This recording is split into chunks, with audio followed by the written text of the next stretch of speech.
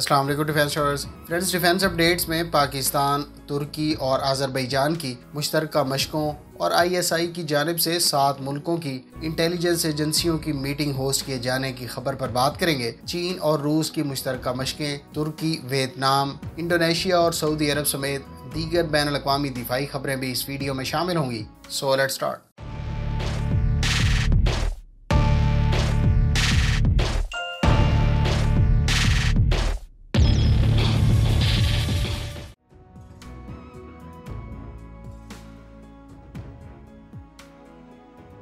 Friends, Australia ने 15 Bushmaster armour personnel carrier vehicles Indonesia को donate की हैं। ये व्हीकल्स बुनियादी तौर पर उन इंडोनेशियन ट्रूप्स के लिए फराम की गई हैं, जो यूएन पीस कीपिंग मिशन में हिस्सा ले रहे हैं। याद रहे कि इन व्हीकल्स पर क्रू मेंबर्स के अलावा आठ सोल्जर्स को कैरी किया जा सकता है। व्हीकल की रेंज 800 किलोमीटर और road speed 100 kilometre per hour है। बुश मास्टर पर 12.7 या 7.62 मिलीमीटर mm कैलिबर की मशीन गन भी नस्बी जा सकती है। याद रहे कि ये व्हीकल्स ऑस्ट्रेलिया यूके और जापान के अलावा आठ ममालिक के जेर इस्तेमाल है।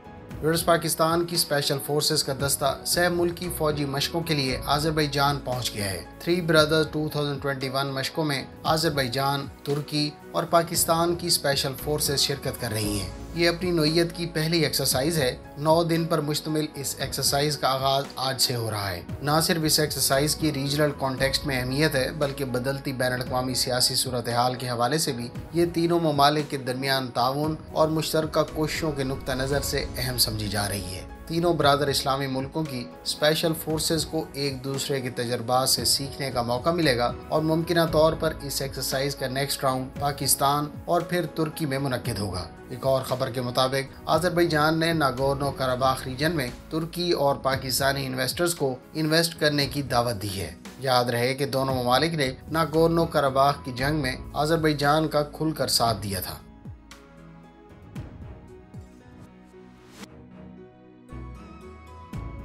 फिर अमरीका ने सऊदी अरब के दारकूमत रियाज से 115 किलोमीटर दूर प्रिंस सुल्तान एयरबेस से अपने पेट्रियाट एयर डिफेंस सिस्टम की बैटरीज रिमूव कर दी हैं। हालाँकि इन दिनों में सऊदी अरब को हूसी बागियों की जानब से शदीद मिसाइल और ड्रोन हमलों का सामना है। वाज रहे कि अमरीका ने जून 2021 में ऐलान किया था कि मिडल ईस्ट से सैकड़ों ट्रूप्स एयरक्राफ्ट और एयर डिफेंस सिस्टम को कहीं और मुंतकिल करेगा।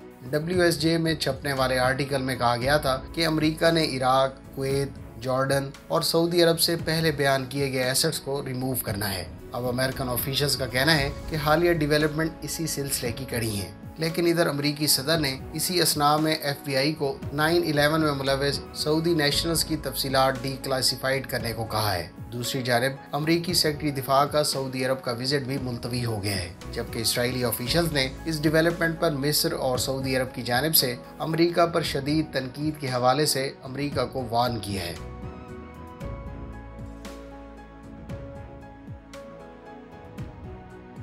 फ्रेंड्स तुर्क फौज के माउंटेन कमांडो स्कूल और ट्रेनिंग सेंटर में इंटरनेशनल बेस्ट स्नाइपर कंपटीशन जारी है। इस कंपटीशन में Turk Republic of Northern Cyprus, Qatar, Kosovo और तुर्की की टीमें हिस्सा ले रही हैं। एक और खबर के मुताबिक, तुर्क वज़ीर दिफा हलूसी अकार ने चीफ ऑफ़ जनरल स्टाफ और तुर्क लैंड फोर्सेस के कमांडर के हमरा शाम में होने वाले हमले में जख्मी होने वाले तुर्क फौजियों की अस्पताल में इयादत की। एक और खबर के मुताबिक, शुमाली इराक में तुर्क एयरफोर्स ने ड्रोन्स और एफ़ सिक्सटीन के साथ पी के ठिकानों को निशाना बनाया। याद रहे कि तुर्क मुसलाफाज शरपसंदों के ठिकानों को ख़त्म करने के लिए इराक और शाम में ऑपरेशन कंडक्ट कर रही है।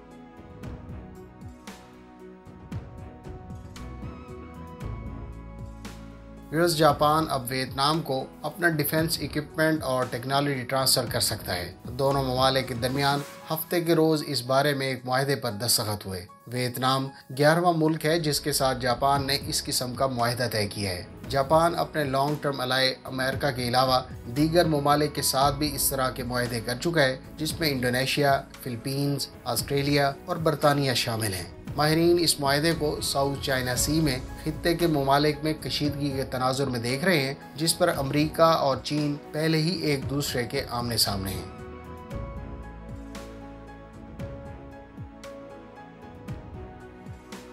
फ्रेंड्स, पाकिस्तान की खुफिया एजेंसी आईएसआई ने अफ़गानिस्तान की सूरत हाल और खत्े में अमन इसकाम के क्याम के लिए इस्लामाबाद में सात ममालिक की खुफिया एजेंसियों के सरबराहों की मीटिंग मुनद की। इस मीटिंग में पाकिस्तान के अलावा रूस, चीन, ईरान, ताजिकिस्तान, तुर्कमानिस्तान और उज्बेकिस्तान की खुफिया एजेंसियों के सरबराहों ने शिरकत की।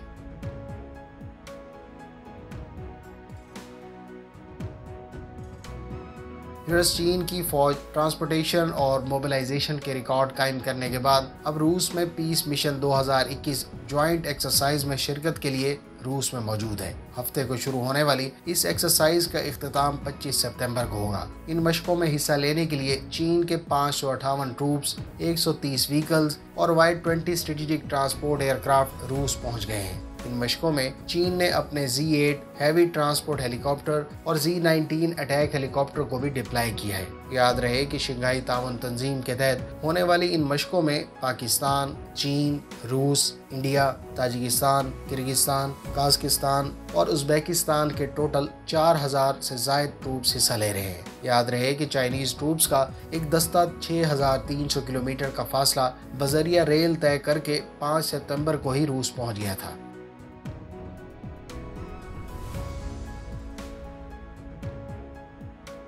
फिर हफ़्ते के रोज यूनान ने ऐलान किया है कि वो फ्रांस से छह मजीद रफाल एयरक्राफ्ट हासिल करेगा। इस एक्विजिशन के साथ यूनान की फ्रांस से हासिल किए जाने वाले रफाल फाइटर जेट की तादाद 24 हो जाएगी। इससे पहले यूनान ने फ्रांस से 18 त्यारे ऑर्डर किए थे, जिसमें से छह इस्तेमाल शुदा और 12 नए एयरक्राफ्ट हैं। तुर्की के साथ ईस्टर्न मेडिटेरेनियन सी के मामले पर कशीदगी को लेकर यूनान अगले पाँच साल में अपनी फोर्सेज को मॉडर्नाइज करने के लिए 14 अरब डॉलर खर्च करेगा।